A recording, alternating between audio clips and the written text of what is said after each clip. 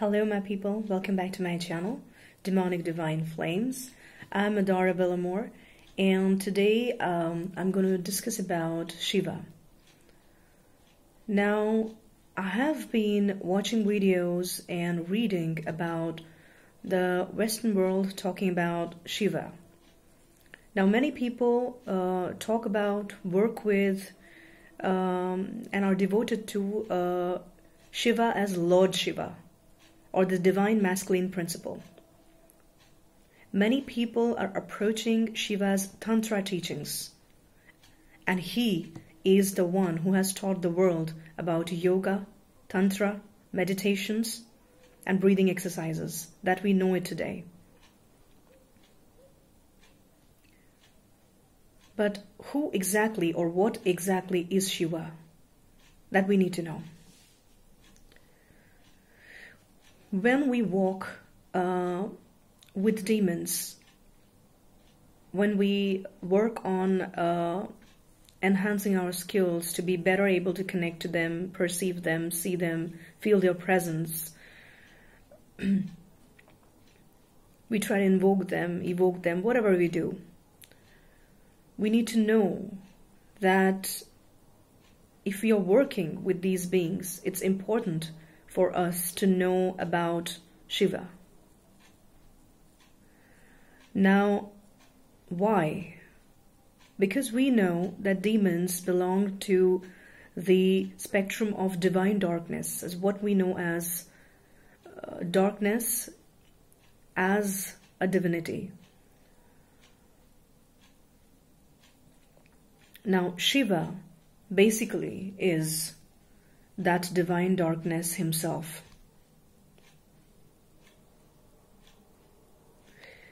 That divine darkness, which is actually nothing, but still everything.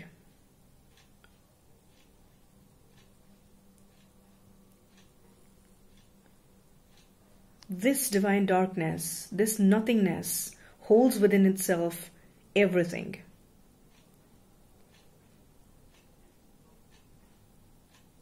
For example, you can just take a simple example that if you have an empty bottle, you, you would be able to fill it. But if a bottle is filled to the brim, can you fill it with more water? No, you can't. Because there is no space. There is no space. It's like that. We are like limited vessels trying to hold a super consciousness, trying to define and give forms to a super consciousness that is basically beyond our imagination, understanding, or limited concepts. That is what Shiva is. This divine darkness that holds within itself all the creation, everything that we know of and everything that we don't know or we can't imagine um, can exist. He's the vessel that holds the existence. And you cannot hold something, just like I gave the example of the bottle.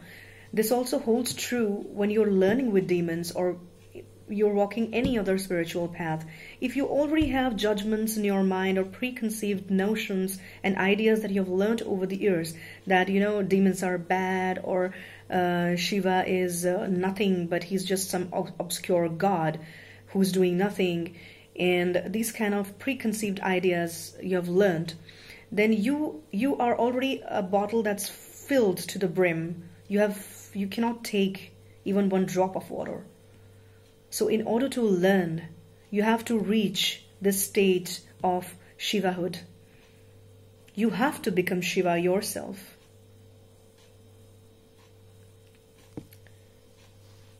And you know why I'm coming today on a Tuesday with this video? We know those who work with demons and those who specifically work with Belial that Tuesday happens to be one of the days of Belial.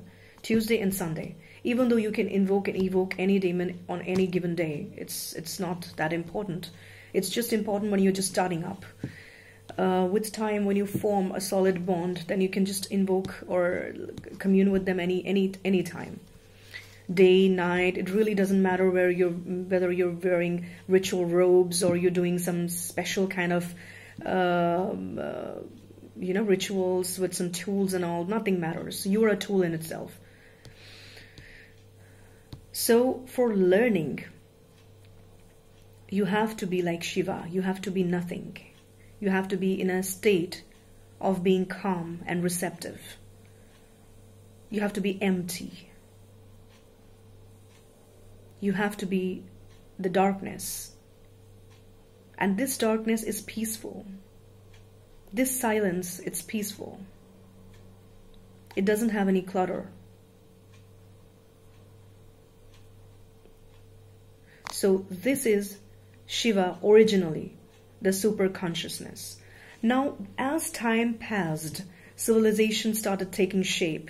People started defining their boundaries, their territories, their cultures. Languages came. All of the different com complexities started, uh, you know, growing up, started coming into being. It is then that people needed a form, something solid to focus on to make uh, that that something into uh, an object of worship, an object of devotion. That is when Shiva came into being as the divine masculine or as Lord Shiva, as we know him now. And that is also not wrong. Because the source contains within itself all different forms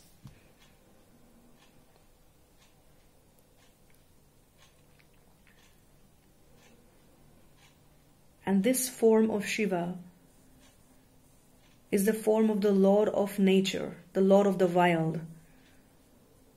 It is also much closer to the Celtic god Cernunnos. Find out about Cernunnos.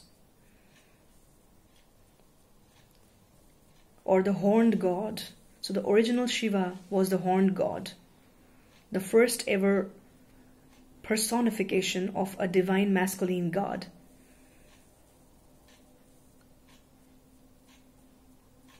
when Shiva or this supreme consciousness, which is silent, which is in a state of nothingness, which is in a state of uh, eternal peace, when it wants to express itself, then it wields its energy, its power, which is Shakti. Shakti is energy, the energy of creation. She's the one who creates the worlds, the world of forms, She is Maya, Mahamaya, the great goddess. She is inseparable, inseparable from Shiva. That is why we say that, you know, the union of Shiva and Shakti, or the union of the divine masculine and the divine feminine, is something sacred, is something divine. It's not something to look down upon, it's not sin. Basically, that's the concept or the point of sacred uh, sexuality, which Shiva taught the world.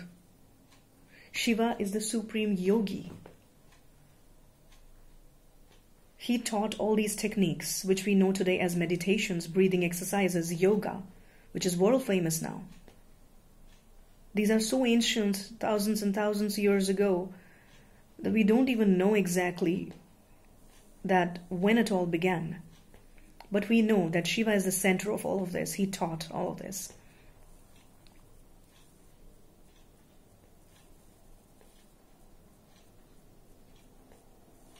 So, in order to do any spiritual practice, you have to first enter the state of being Shiva so that you can hold this knowledge without any judgments, without opinions, without you know, all that learned clutter that you have learned over the years.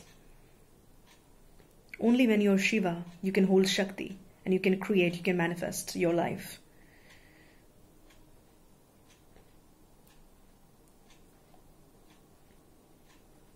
Now, this divine darkness that Shiva is also makes him the one from whom uh, all the demons come.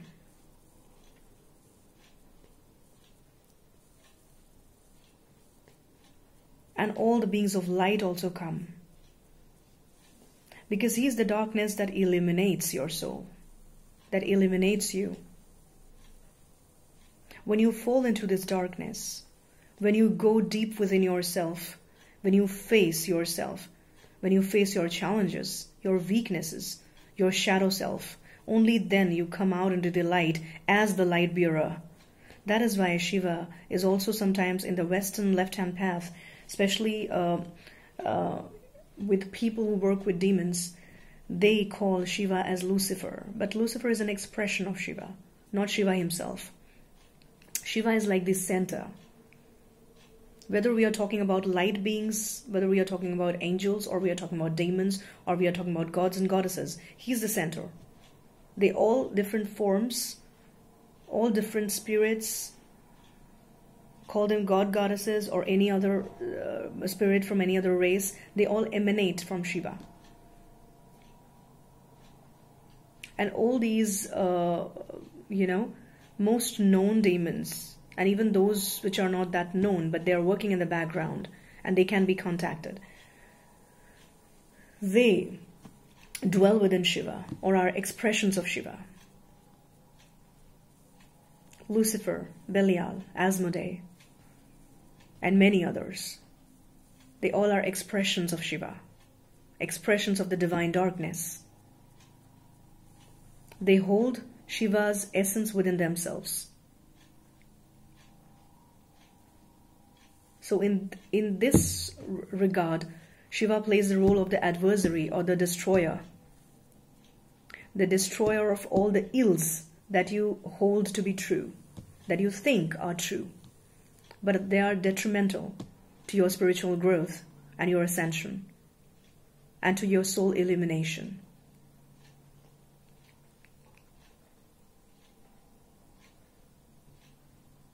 Belial wanted me to talk about Shiva since some time, and I was not able to make a video on Shiva because I said it's a vast topic. Like, what exactly do I talk about Shiva? There is a lot. And uh, people all around the world, they're talking about Shiva, sometimes as Lord Shiva, sometimes as consciousness, sometimes as his idol. But it's really hard to point out like this and say, okay, this is Shiva because Shiva is the supreme consciousness that dwells in everything, but at the same time, he is outside everything or and beyond everything. It's that spark of life, it's that spark of light, and it's that divine darkness. It would be better if you commune with Shiva within yourself and open yourself to Shiva's energy that you will be able to understand what exactly he is or what, what exactly Shiva is.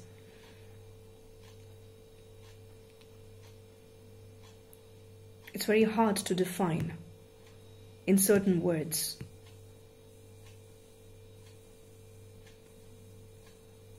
And when you work with these demons, always know that it would be better for you if you're in a Shiva, Shiva state or if you have entered Shivahood in order to deal with the uh, challenges that these adversaries bring on the table.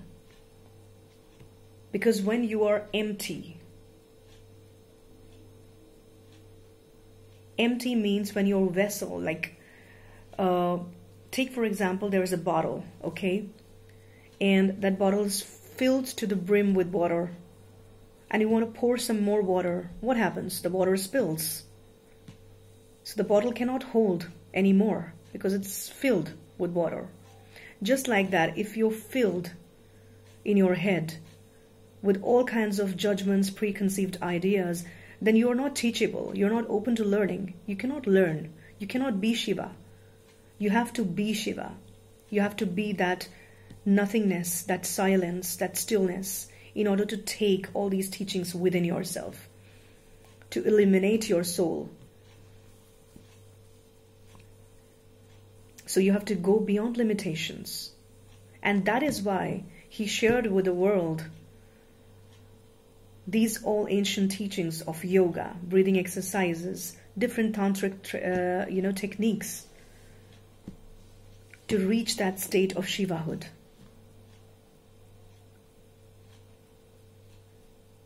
So Lord Shiva is a personification that has been given to him by people, and Shiva as a, a spiritual what do you call it shiva as a spiritual um, truth is simply the super consciousness that is everywhere, but still it cannot be seen or perceived by the five senses. It's the same, you know, when you're working with spirits, be it anyone, take the name of any demon, any angel. You cannot see them.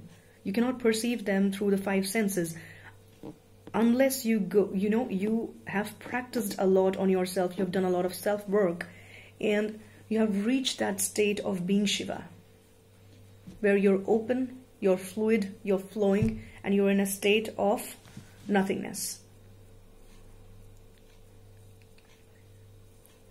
It's the same. You cannot perceive Shiva, you cannot see Shiva, you cannot taste or breathe Shiva, but He's everywhere and in every little thing.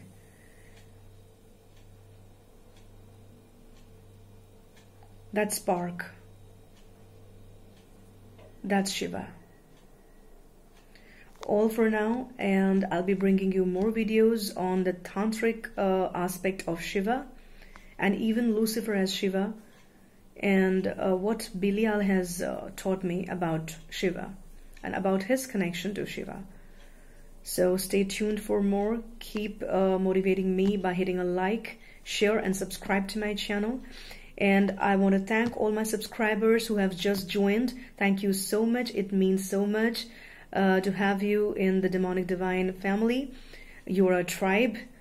And uh, I also would like to extend my uh, thanks and my gratefulness uh, to all those uh, who have purchased readings from me, uh, who are currently taking the spiritual coaching services from me. It really inspires me a lot when I work with each one of you. Each one of you have different energy signatures, and um, I'm always open to learning. And it's a two-way interaction. Uh, I enjoy uh, learning learning about you uh, and how better I can help you. Thank you so much.